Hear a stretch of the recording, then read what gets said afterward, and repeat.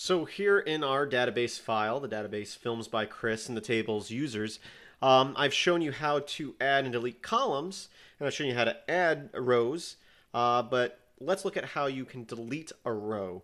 Uh, deleting a row is fairly simple. Is going to be a pretty short tutorial. We're just going to say delete, and we're going to say from, and the name of our table, which is users. And what are we going to delete? We're going to delete any row. And let's just case, I mean, in the last tutorial we added a whole bunch of just repeated rows here, basically.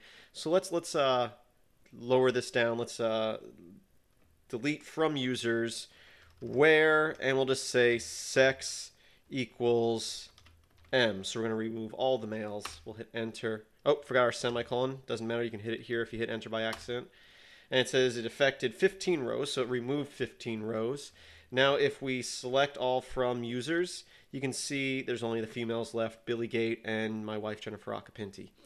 So that's a quick way of looking at uh, how to remove uh, rows. And once again, you can combine this. So if you said where sex equals male, let's here, let's remove where sex equals female, which at this point would delete everything because everyone is a female that's left in the database. But we can say end um, we'll say f name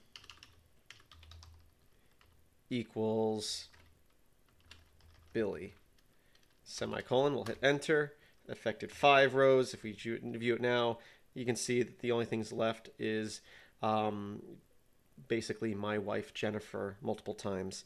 And we're going to get into uh, restoring databases in the next tutorial. So now that we've completely messed up this database, let's look how we can import the information back into it properly.